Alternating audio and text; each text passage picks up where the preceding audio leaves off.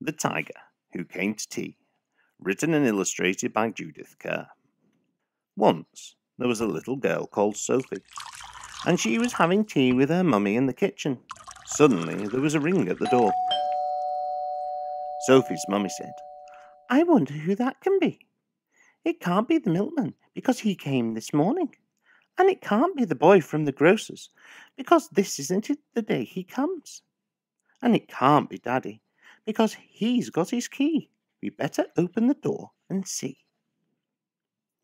Sophie opened the door, and there was a big, furry, stripy tiger.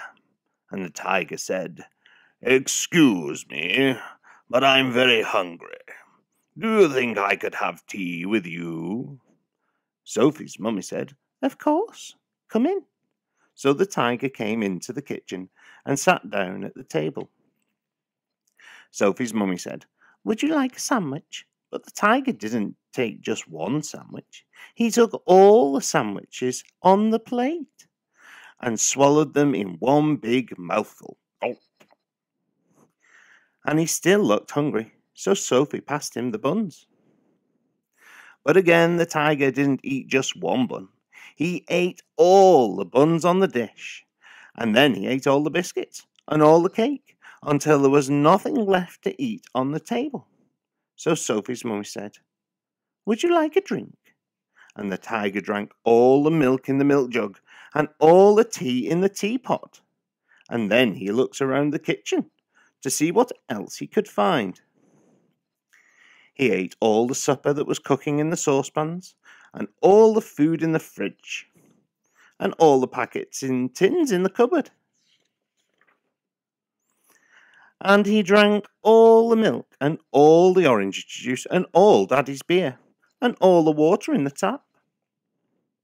Then he said, Thank you for my nice tea. I think I'd better go now. And he went. Sophie's mummy said, I don't know what to do. I've got nothing for Daddy's supper. The tiger has eaten it all. And Sophie found she couldn't have her bath because the tiger had drunk all the water in the tap. Just then, Sophie's daddy came home. So Sophie and her mummy told him what had happened and how the tiger had eaten all the food and drunk all the drink. And Sophie's daddy said, I know what we'll do. I've got a very good idea. We'll put our coats on and go to the cafe. So they went out into the dark and all the street lamps were lit, and all the cars had their lights on, and they walked down the road to a cafe.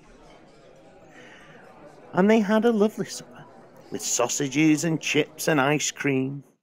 And in the morning, Sophie and her mummy went shopping, and they bought lots more things to eat. And they also bought a very big tin of tiger food in case the tiger should come to tea again. But he never did.